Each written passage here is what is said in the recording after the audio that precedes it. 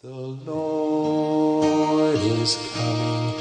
Are you ready? The Lord is coming.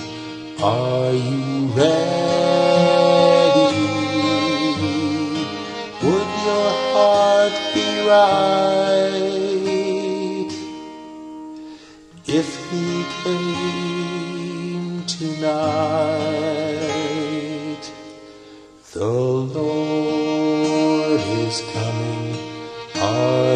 Ready? Gott wacht über sein Volk.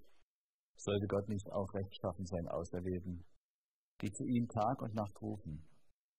Und sollte er es bei ihnen lange hinziehen? Ich sage euch, er wird ihnen rechtschaffen in Kürze.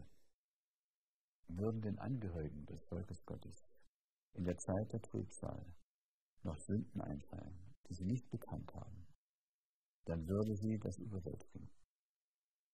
Die Verzweiflung würde ihren Glauben ersticken.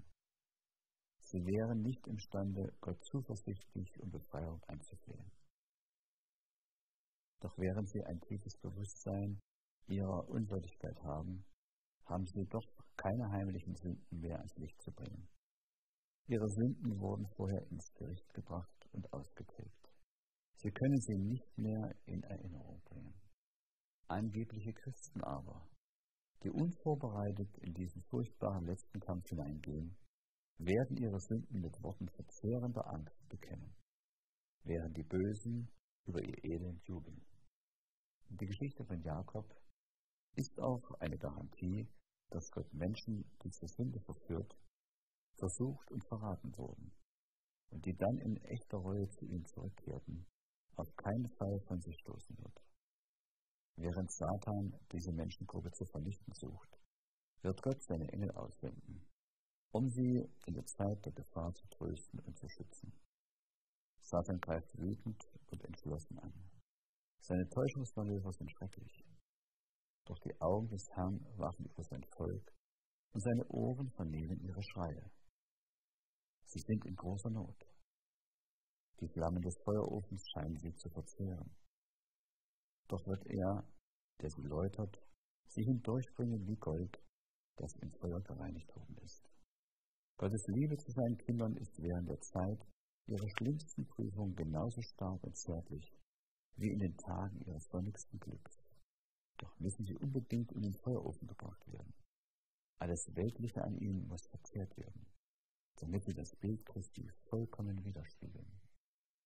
Die Zeit der Not und der Angst, die uns bevorsteht, wird ein Glauben erfordern, der Müdigkeit, Aufschub und Hungerzeiten aushalten kann. Einen Glauben, der auch unter starker Belastung nicht versagt. Die Gnadenzeit ist für alle da, damit sie sich auf jene Zeit vorbereiten. Alle, die sich an Gottes Verheißungen klammern, wie es Jakob tat. Wer genauso ernst und ausdauernd dabei ist, dem wird es gelingen, wie es ihm gelang. The Lord is coming.